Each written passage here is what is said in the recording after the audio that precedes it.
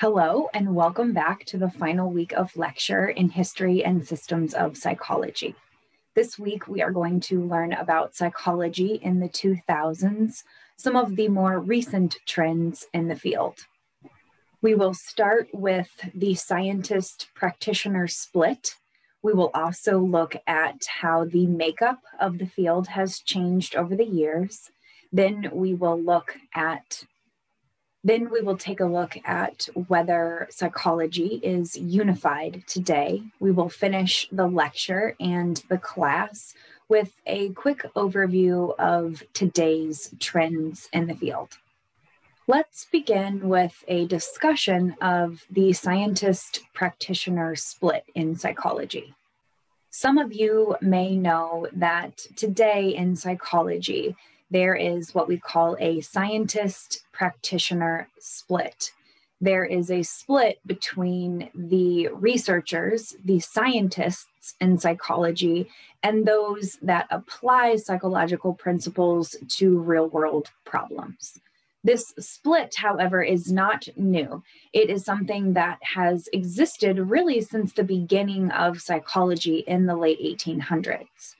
In the 1960s, this split became more pronounced as clinical psychologists became more prominent. Remember, after World War II, clinical psychologists stepped up to the plate and met the demand for treating war veterans as they returned home.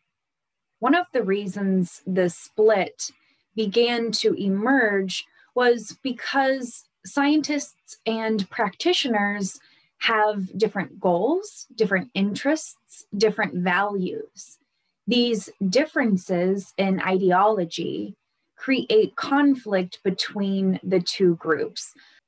One of the other reasons this split emerged in the 1960s was because in 1962, for the first time in psychology's history, there were more practitioners than there were researchers. The academics, the scientists, were not happy about losing power, and they were not happy about the APA's renewed focus on the practitioner side of psychology. By the 1980s, psychology's scientists were fed up with the focus on the practitioner side of the field. APA's researchers asked that it be reorganized to suit their interests, but the request was denied. They were so concerned about the transition from science to application that they ended up creating their own organization in protest. In 1988, they created the American Psychological Society, APS, which still exists today. Unfortunately, this split still exists today. Despite this conflict, there is a lot of overlap between the science and the application sides of psychology. Many psychologists are both researchers and practitioners. Many of them are members of both the APS and the APA. The APA has made great strides in the last few decades to try to make its organization more focused on the science side in order to draw in researchers and keep them. The APA, for instance, offers a science doctorate, and its journals do tend to have a focus on research, not just on practitioner issues.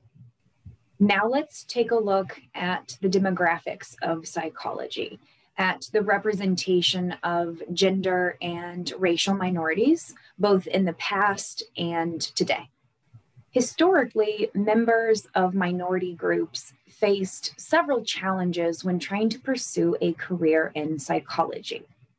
Minority members were often thought to be inferior to the majority group anti Semitism directed at Jewish professionals made it more difficult for them to find work.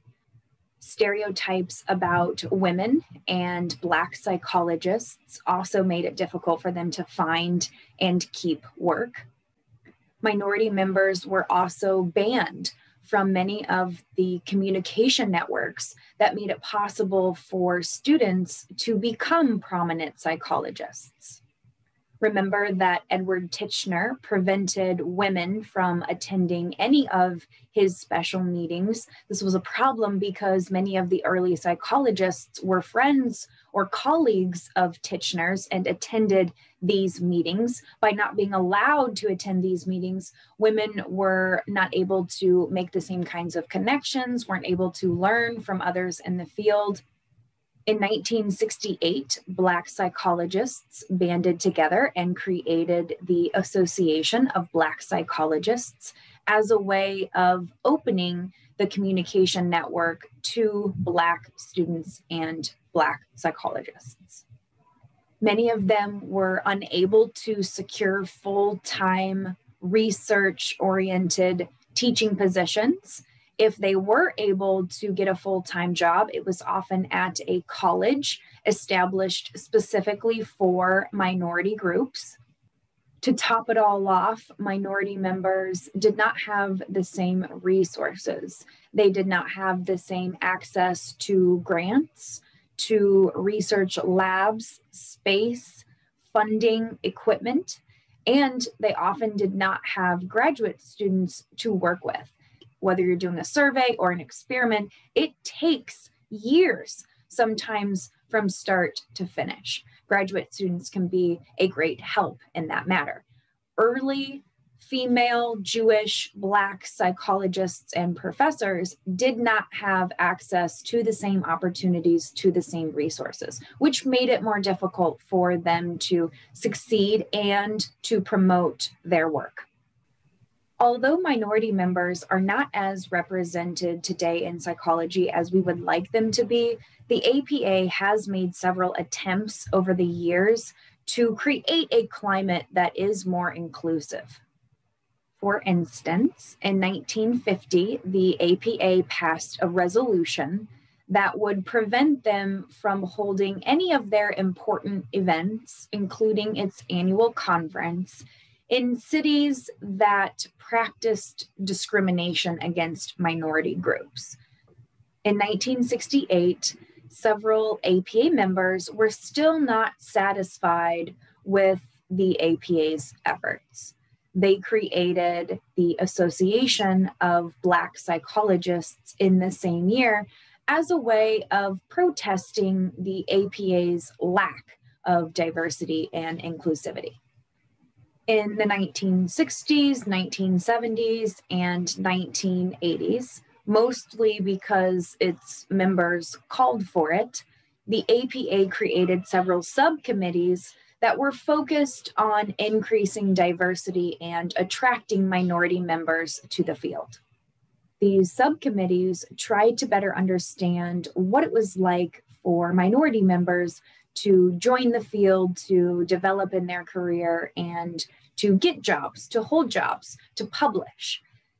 In 1974, the APA began to award financial aid to graduate students to help them pay for school. In the mid 1900s, we start to see the field of psychology diversify in all kinds of ways. We had multiple subdisciplines emerging. Remember, we've already talked about psychotherapy, behaviorism, humanistic psychology. We talked about clinical psychology, cognitive psychology, neuroscience, perceptual psychology, personality psychology. All of these different subdisciplines were beginning to emerge in the middle of the 1900s. Psychologists at the time had a variety of different interests the research questions they asked were more diverse than ever. Their theories were diverse, everything from cognitive psychology to forensic psychology to school psychology. From our studies, we began to identify long lists of evidence based strategies that we could use in different industries and different settings.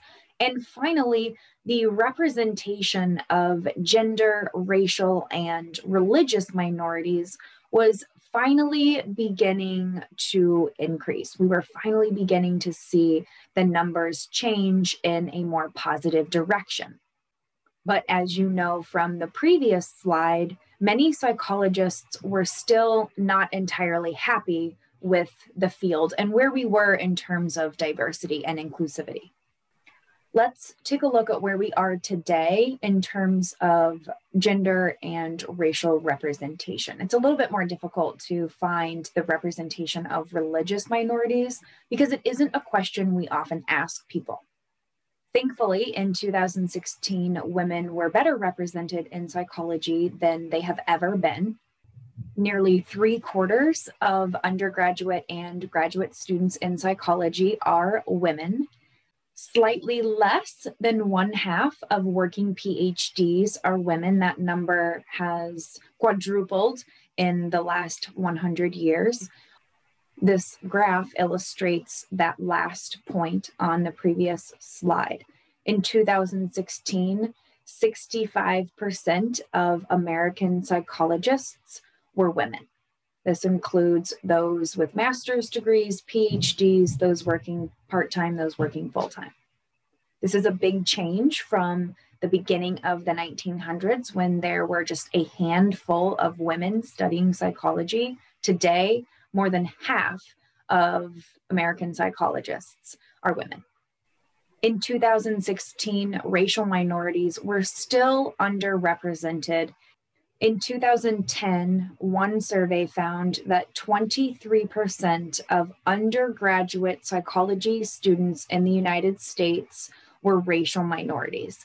This number is up from an estimate in 1991 of 13%.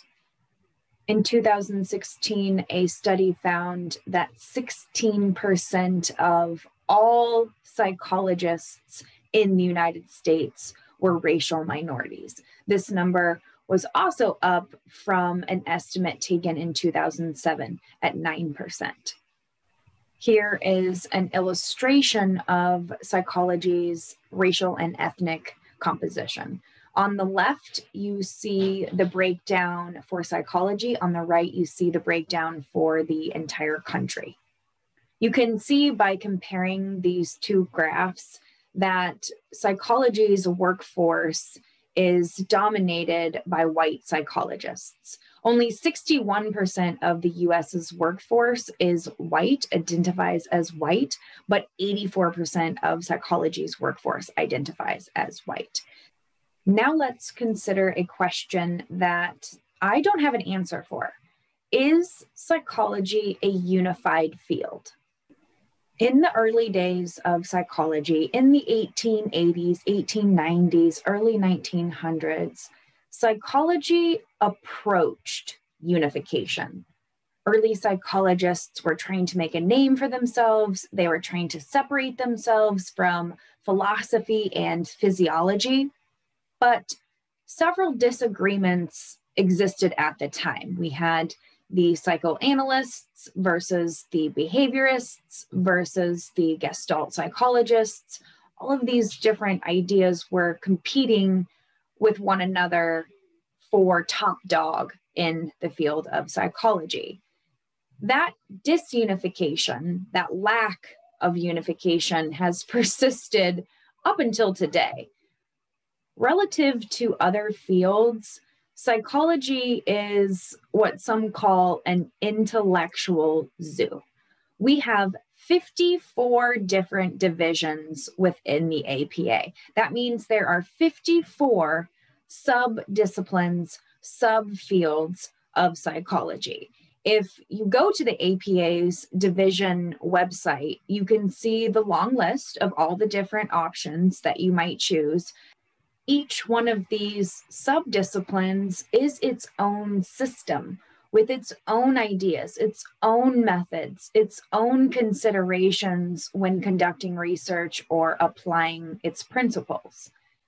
In addition to having all of these different subfields, we still have the conflict between scientists and practitioners. Between these two issues, many historians in psychology say psychology is not unified. psychology does not have one identity. They suggest that psychology is not one discipline, but a collection of disciplines. They point to the notion that each subfield is unique, has its own ideas, principles, methods, techniques, people, history. Each subfield could have its own history and systems of psychology course assigned to it. There is enough material within each subdiscipline that I could create 16 weeks worth of lecture for each one. Plus, the standard definition of psychology does not always fit the work. What a clinical psychologist does is very different from what a forensic psychologist or an IO psychologist does. And finally, although most psychologists are trained in and work in psychology departments, there are some psychologists who do not work in a traditional psychology department. For instance, many IO psychologists end up teaching in business schools within the management department. For all of these reasons, the history of division, the scientist practitioner split, the idea that subdisciplines are different, the overarching definition doesn't always fit. Some psychologists don't work in psychology departments. For all of these reasons, some historians suggest that instead of calling it psychology, we should call it psychologies, plural.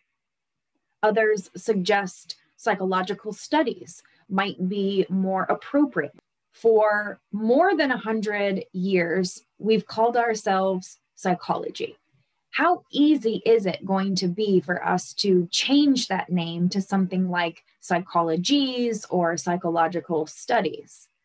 Now, just because it's going to be difficult doesn't mean we shouldn't do it, but it is something from a psychological perspective we have to think about. When you change the name of something, it's difficult for people to jump on board with that change. And that change really needs to make sense. It needs to be purposeful, strategic. I'm not sure, I'm not convinced yet that changing the name of the field is the way to go. If we were going to separate psychology into multiple subdisciplines and give them each their own identity separate from psychology, what might be some of those areas? Here I have an illustration of the five pillars of psychology. Now, sometimes you'll see four, sometimes you'll see six, but these are the five main areas of psychology.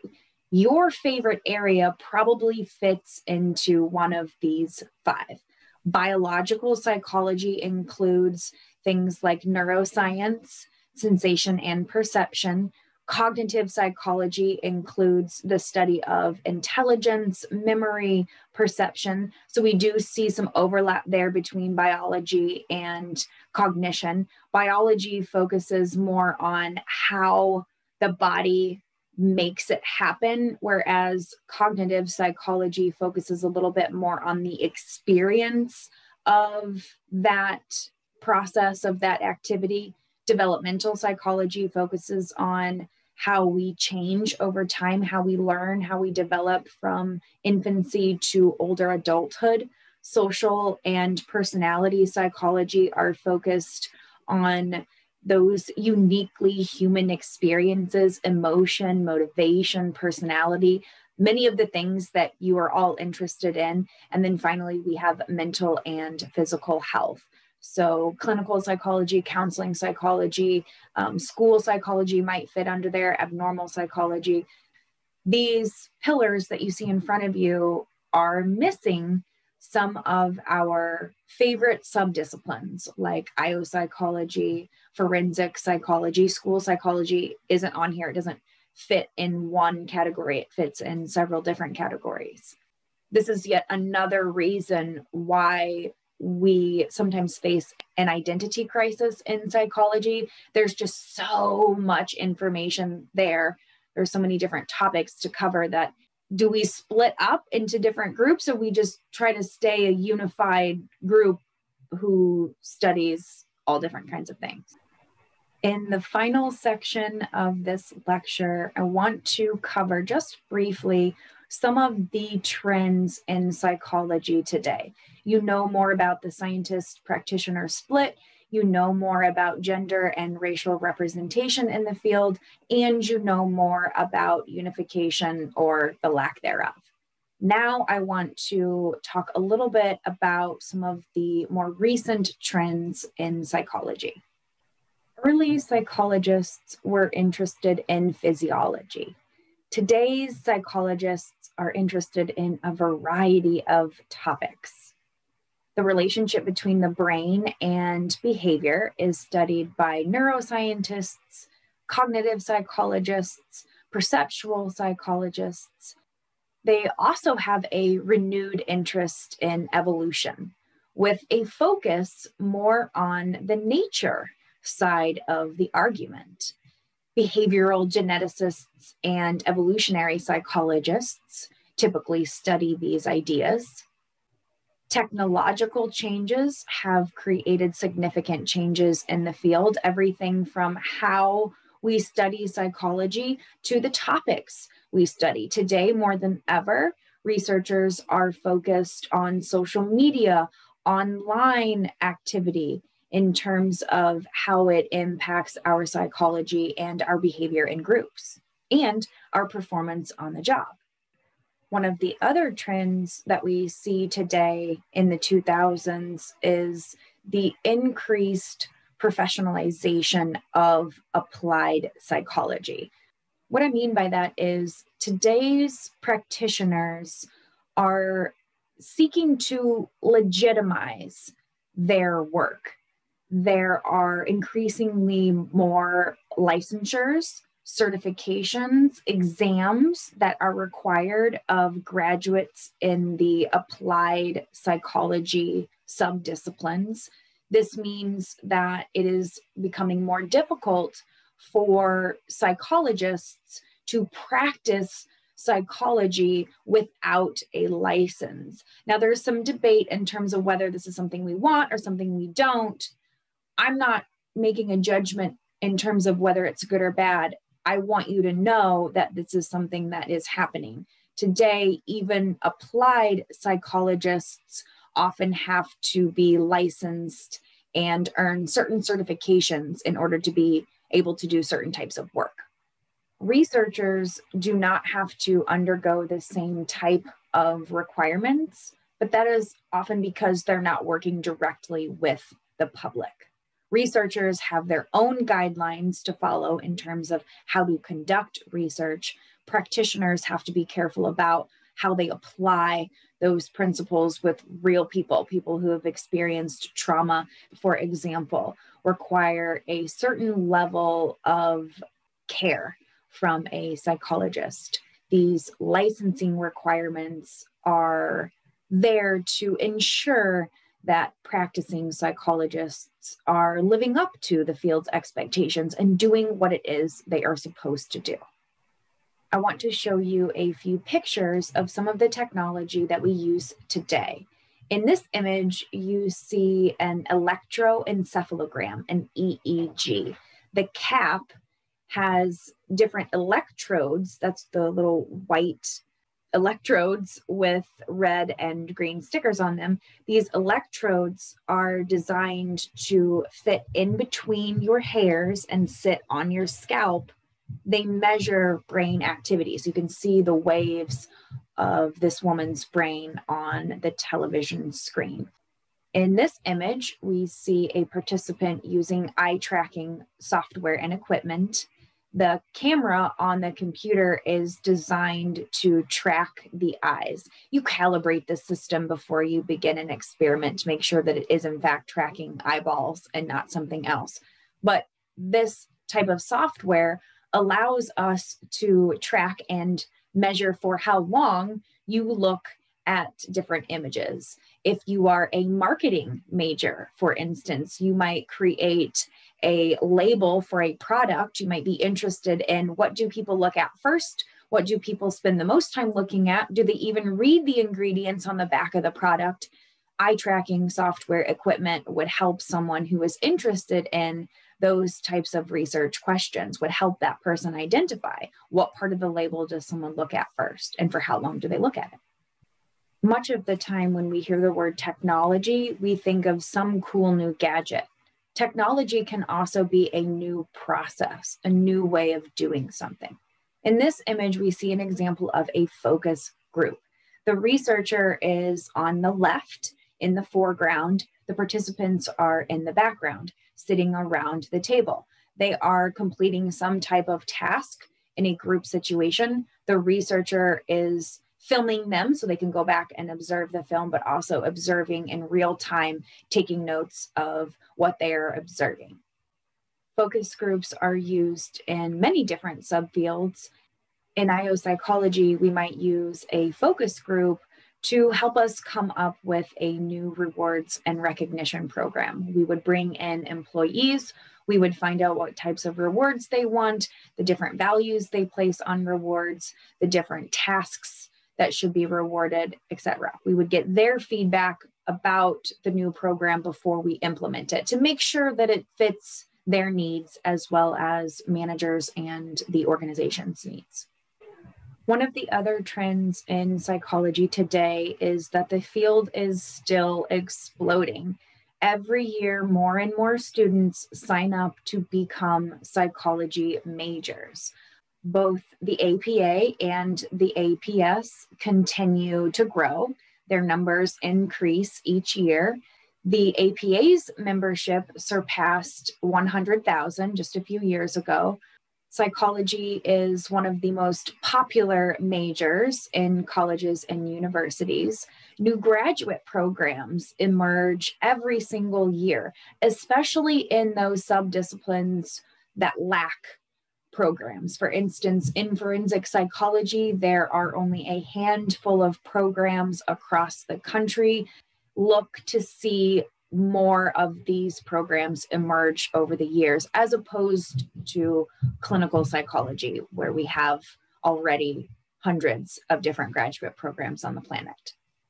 And finally, applications to graduate school often outnumber the available spots.